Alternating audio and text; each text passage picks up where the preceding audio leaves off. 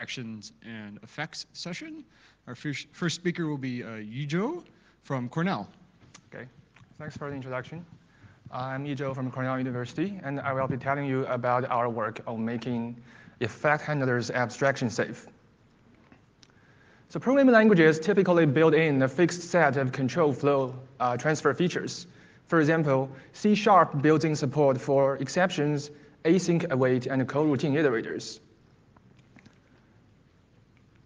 Quite recently, algebraic effects have emerged as a unifying language abstraction that allows programmer-defined control effects. They subsume legacy control flow features such as exceptions, and, and they also bring numerous other possibilities. This generality has created a growing interest in algebraic effects from both the research community and industry. There are full-fledged language designs, and there are also many library implementations. So to summarize, algebraic effects are gaining steam.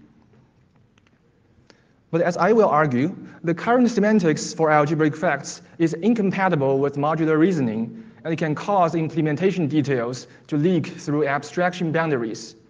And this talk is going to be about why this is the case and how to fix this serious modularity problem. But first, let me tell you a little bit about algebraic effects from the programmer's perspective. The generality of algebraic effects comes from the ability to define signatures for effects. For example, we can define, uh, we can define an effect signature called yield. This signature is parameterized by a type parameter e and contains one effect operation. This effect operation takes an e and returns unit. Using this algebraic effect, we can define an iterator for binary trees in a declarative way. We iterate the left subtree, we yield the current value to the client, and we iterate the right subtree. Static checking of effects requires us to put that effect in the function header using a throws clause. And this effect will be propagated to the caller of this iterator. The caller then needs to handle this effect by providing an implementation for each effect operation in the effect signature. Here, the handler simply prints the element and resumes the iteration. Just like exception handlers, algebraic effect handlers are dynamically scoped. This means that when a yield effect is raised, the runtime searches the dynamic context for the most recent handler that can handle yield and transfers control to that handler. And after the handler prints the element, control will be transferred back to the place where the yield effect was raised. So the iterator will continue to traverse the right subtree. So this is the current operational semantics for algebraic effects.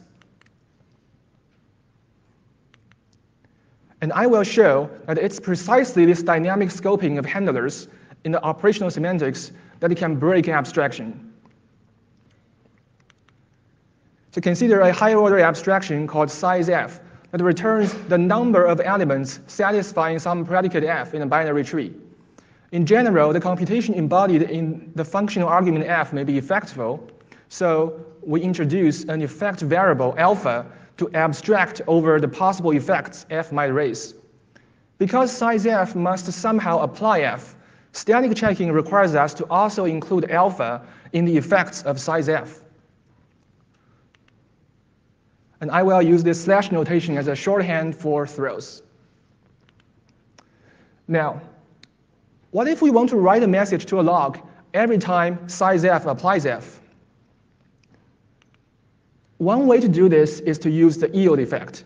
Here, G is a wrapper of f. It's an L expansion of f, but G also raises a yield effect before redirecting to f. The client code then passes G to size f. So this invocation of size f has effect yield, which the client handles by logging a message.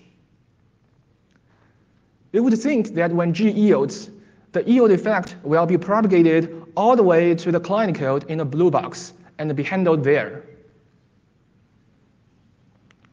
However, this will not happen for particular implementations of the higher order abstraction size f. So consider one such implementation that uses a filtering iterator. This filtering iterator, called iterf, is obtained by modifying the iterator we defined earlier. We iterate the left subtree, we yield the current value only if the value satisfies the predicate f, and we iterate the right subtree. This particular implementation of size f then counts how many elements are yielded by this filtering iterator. It increments the counter every time iter f yields a value. Handlers are dynamically scoped. When G yields, the most recent handler for yield on the stack is no longer the one in the client code. Instead, it is the one in the function size f. So size f will handle this effect by accident, causing the counter to mistakenly increment by 1. So this accidental handling behavior is bad. And what's interesting here is it's not a type safety issue. The program is well typed, and running this program does not result in a runtime error. So the question is, what is the property that we want our language to have in order to preclude this possibility of accidental handling? To recap, we have two clients of the same abstraction. Assuming the value stored in the variable n is the only observable behavior, then these two clients ought to be equivalent, since G is simply a wrapper of F. However, we are able to make different observations about these two programs. These different observations reveal implementation details about the higher order function size f they tell us that size f must be doing something special internally with this yield effect. This insight suggests that accidental handling is really an abstraction safety issue. That is, it causes implementation details to leak through abstraction boundaries. In this sense, the current semantics, the current operational semantics for algebraic effects is fundamentally broken. And given the speed that algebraic effects are gaining popularity, it's imperative that we fix this modularity problem now. So to fix this problem, we give a new semantics, a new tunneling semantics for algebraic effects. Tunneling does not require any changes to the program. On the left is our old program. But with the tunneling semantics in operation, when G yields, the effect is immediately tunneled to the handler in the client code instead of being intercepted by some intermediary context. This tunneling semantics is deeply motivated by modular reasoning. For example, because size f is polymorphic to the effects of its functional argument f, the handler in size f is locally oblivious to any effects f can raise. So it's impossible for size f to accidentally handle any effects raised by f. By contrast, the client code is locally aware that applying G can raise yield because the type of G says so. So the client code is obligated to provide a handler for yield, and this makes unhandled, uh, unhandled, uh, unhandled effects impossible. So this local reasoning sounds useful to the programmer, but tunneling still seems like the programmer's wishful thinking. How does the runtime know which handler to tunnel effects to? The most straightforward way to convey this information to the runtime is by finalizing the choice of handlers before the program even runs. Choosing handlers statically implies the need to name handlers. In fact, the try with in the client code is syntactic sugar for naming the handler explicitly.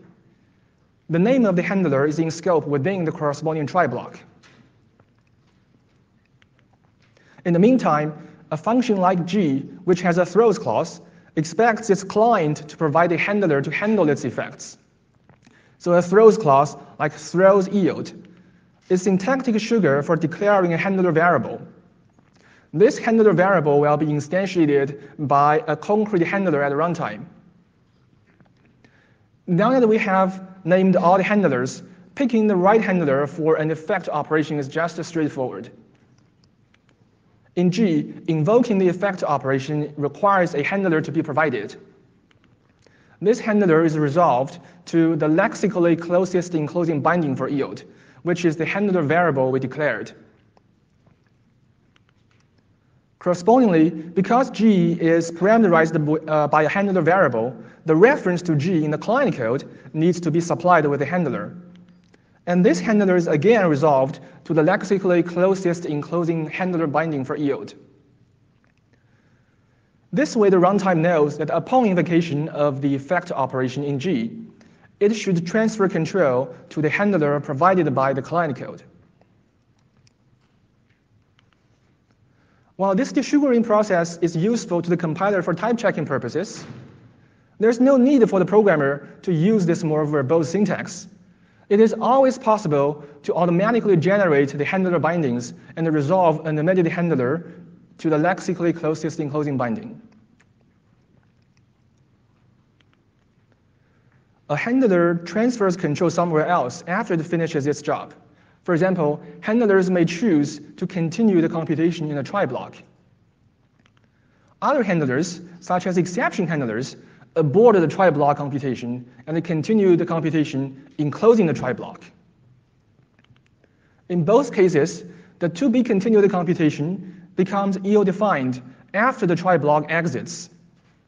So for type safety, we must prevent using handlers outside their try blocks. In fact, there are library implementations that support algebraic effects by passing down handlers, but they are not type safe because it's possible for handlers to escape their lexical scopes. And to address this problem, we turn to the classic idea of a region-based type and effect system. In such a system, the type of a computation is annotated by the regions it must have access to in order to do its job. The type system then uses these annotations to ensure that a, memory region is never accessed outside its lexical scope.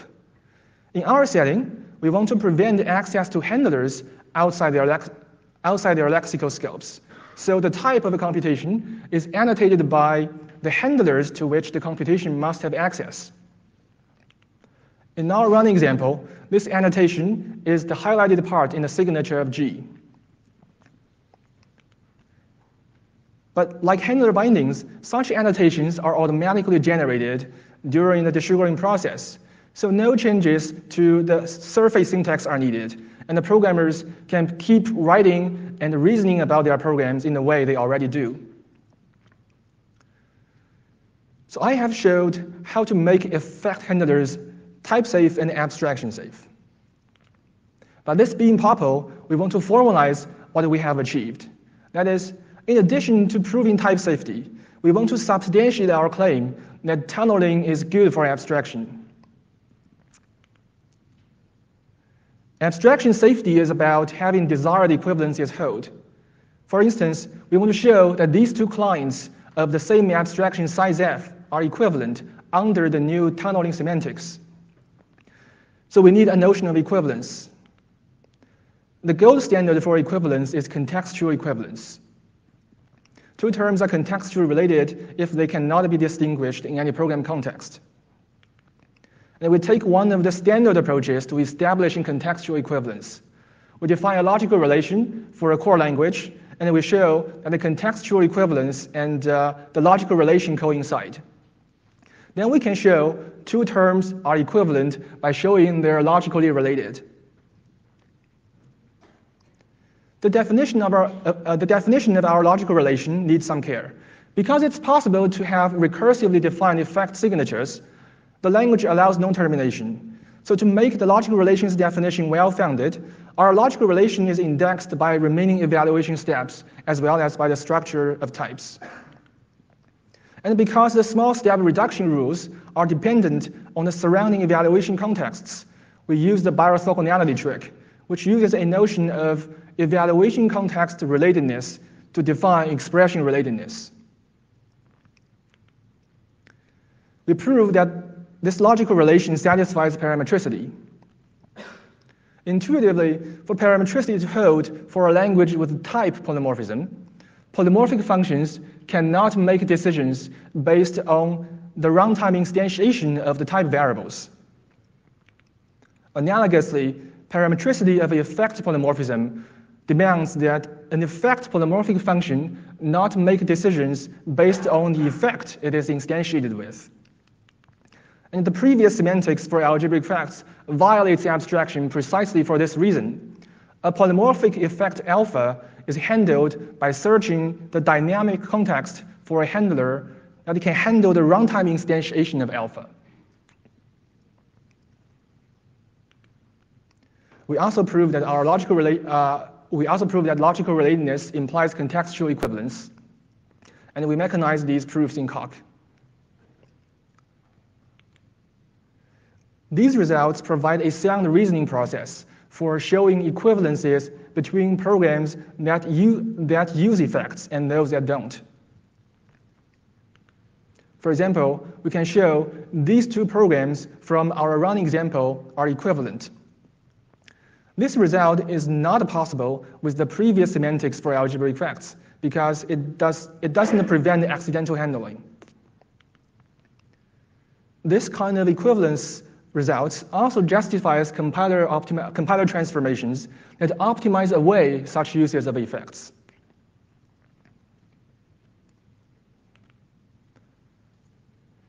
Dynamic scoping is known to have modularity problems. Early languages such as Lisp uh, supported dynamically scoped variables, but dynamic scoping has largely gone out of favor because of the variable capture problem, which can be viewed as an instance of the more general problem of accidentally handled effects.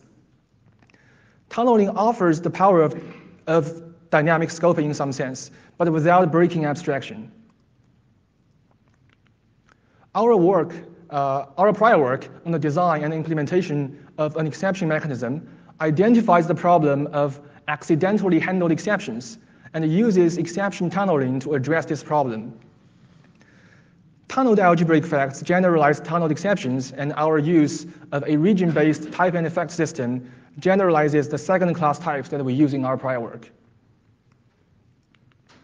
At last POPL, Biernacki et al. introduced an alternate approach to abstraction safety by using a lift operator. They also define a sound logical relation, and we borrow useful ideas from it. Any effects arising from a lifted expression will bypass the dynamically most recent handler. But this approach requires the programmer to annotate the programs with lift, and it relies on making a subtle restriction to the sub-effecting relation. And I believe the next talk will be about how to infer such lift annotations automatically. So to conclude, algebraic effects are a powerful unifying language feature but existing designs for algebraic effects have failed to support the fundamental principle of modular reasoning. The consequences are leaky abstractions and subtle program bugs. We introduced tunneled algebraic effects to address this serious modularity problem and give a rigorous account of abstraction safety by proving parametricity. And we hope this work will offer guidance to future language designs that aim to support algebraic effects with strong abstraction guarantees. Thank you.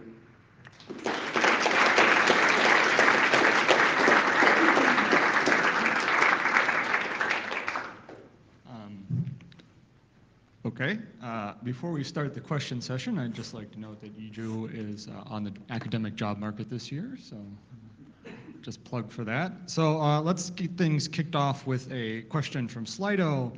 Um, the most popular one is, how do you deal with use cases where a higher order function needs to intercept some well-known effect and change how it is handled? For example, example filtering print.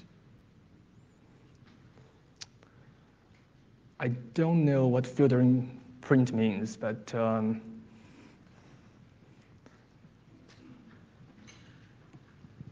so maybe there's an effect for print. So uh, and you, you want to have a, a kind of a high order function that takes as input a thunk and just calls a thunk, except while the thunk is running, if the thunk prints something, uh, everything becomes uppercase.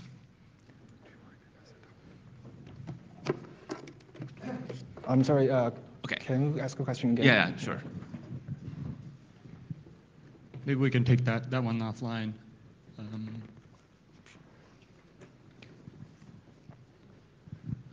So I like your historical perspective, what you said right? We used to have dynamic binding for variables, and then we discovered this was a bad idea, and we replaced it with lexical binding.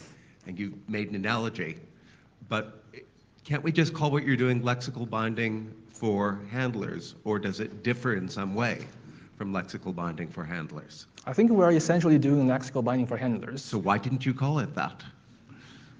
Um, so I think And, and also, right, you've got these extra H parameters that sort of get added in and then instantiated appropriately. You don't normally need to do that for lexical scope. You just say it's lexical scope. So why is something so much more complicated needed here? Couldn't we just say it's lexical scope? I don't think it's so. oh. Thanks. that is a powerful question. Um, um, so I don't think our mechanism is much more complicated than lexical scoping. It's, it, is, it is lexical scoping, and what's also there is an implicit mechanism that allows you to infer the embedded handlers.